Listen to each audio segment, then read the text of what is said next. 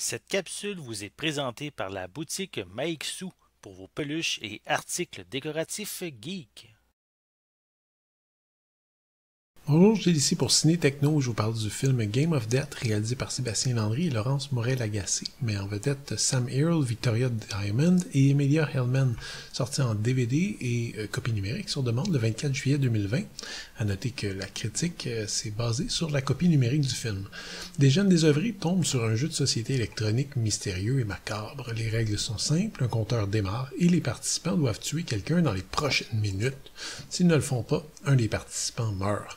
Les jeunes n'y croient pas, évidemment, mais lorsque la tête d'un participant explose, le massacre commence.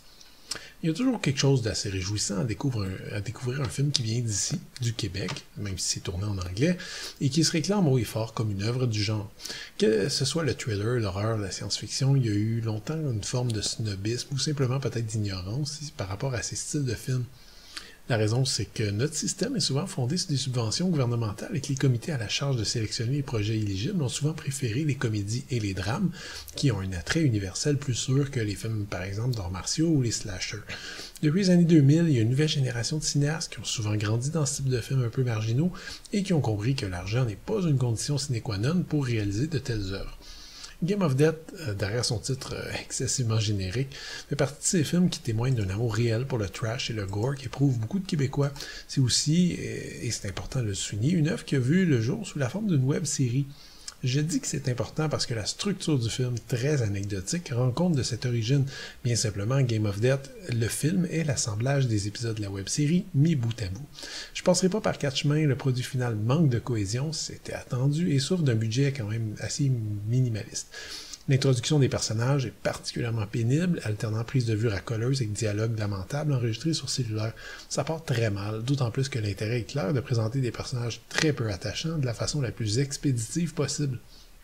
Là encore, gardez en tête que Game of Death était initialement en fait une web série, euh, et donc dans un tel contexte, c'est normal qu'on ne passe pas 20 ou 30 minutes à développer les personnages.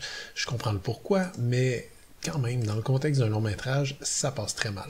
Heureusement, la sauce prend davantage, c'est que les jeunes trouvent le fameux jeu présenté sans explication particulière. Le jeu est comme il est, c'est comme ça.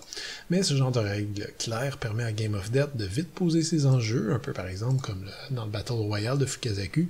Les anecdotes qui suivent varient grandement en termes de qualité et d'intérêt. Je suppose qu'il y a quand même un certain degré de subjectivité à prendre en compte.